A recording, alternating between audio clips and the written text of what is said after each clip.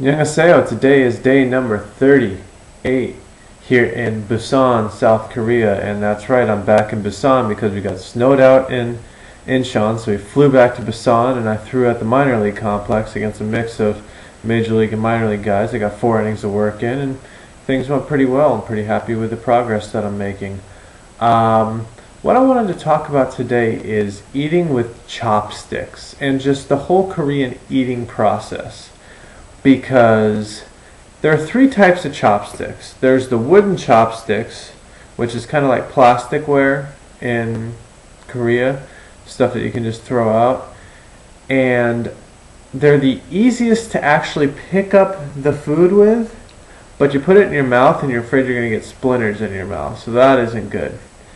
The next step up, which is casual dining, are plastic chopsticks.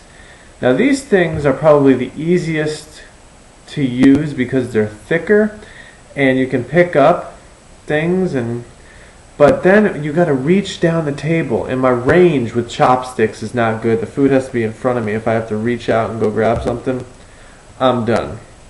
And then finally, the metal chopsticks, which are like the silverware of chopsticks.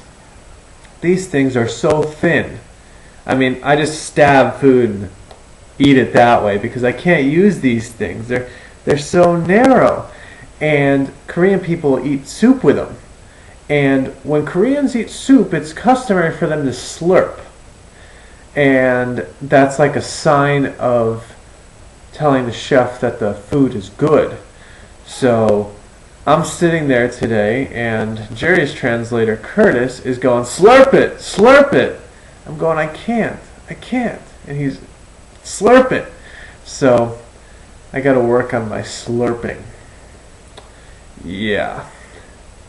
So yeah, that's the whole process. So I got to work on my chopstick range because right now it's got to be right in front of me. And I don't like the wooden ones and the metal ones I got practice with because right now they're they're like stabbers. So all in a day's work in Korea. That's all I got for today. Drinking Mono,